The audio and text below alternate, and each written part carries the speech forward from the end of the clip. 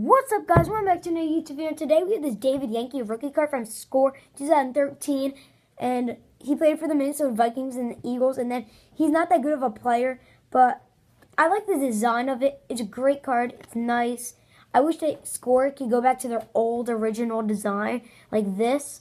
Because for some reason I really liked it. So I'm gonna put it down over there for a second. And um, I just want to talk. Thank you guys for all the support lately on this channel and everything.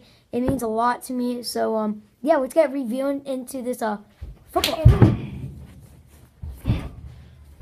You think you could break my arm Stop. and I not get any revenge on you? This is what he freaking did to me. Get over here. The camera's gonna watch you suffer. Nah. Get your face in there. Yeah, fake punches? No. Now the camera's gonna watch you suffer. Get down. Oh, stop! My shirt's falling off. Stop. Ah. The camera's gonna watch you suffer. Ah. Ah. Ah.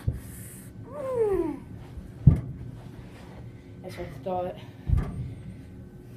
That's what you get when you hurt my arm.